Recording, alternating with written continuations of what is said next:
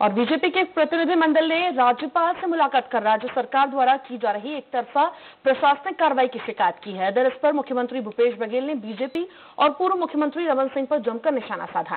CM ने कहा कि भाजपा के पास कोई काम नहीं बचा, इस वजह से उसके नेता इस तरह की शिकायतें करते रहते हैं। सीएम ने कहा कि रमन सिंह बीजेपी के राष्ट्रीय उपाध्यक्ष हैं, लेकिन दिल्ली में कोई उन्हें पूछता नहीं है। यहाँ भी उनकी ज़रूरत बची नहीं है, इस वजह से ऐसे मामलों पर शिकायत करते रहते हैं।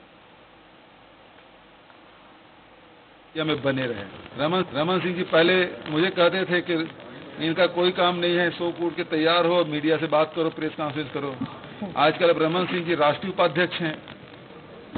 दिल्ली में कोई पूछता नहीं है। यहाँ उसकी जगह बची नहीं है। तो केवल ये है कि उनसे न कोई मिलता है, न कोई सहयोग कर पा रहा है। बहुत दुखी वो दिखाई देते हैं। और इस कारण से कुछ न कुछ बात ऐसे कह दो। जिसे वो मीडिया में बने रहे।